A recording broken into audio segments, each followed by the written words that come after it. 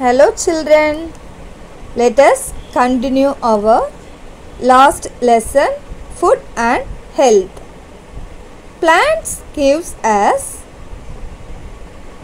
vegetables, fruits and greens. And we get some food from animal.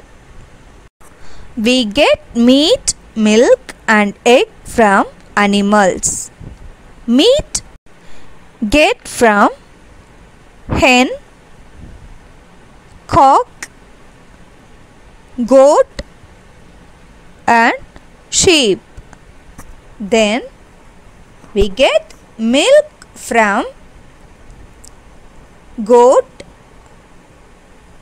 buffalo and cow and we get eggs from hen and duck. And then we get crab prawns and a wide variety of fishes from water bodies like ponds lakes rivers and the sea.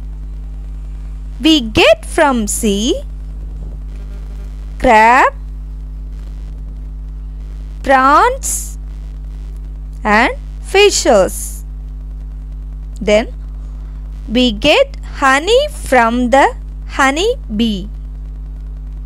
Then we are going to learn about milk products. We get curd butter ghee paneer and cheese from milk. Having milk or milk products every day keeps us healthy. Milk gives us curd butter ghee and paneer. Okay children. Thank you. Let us meet at next class. Bye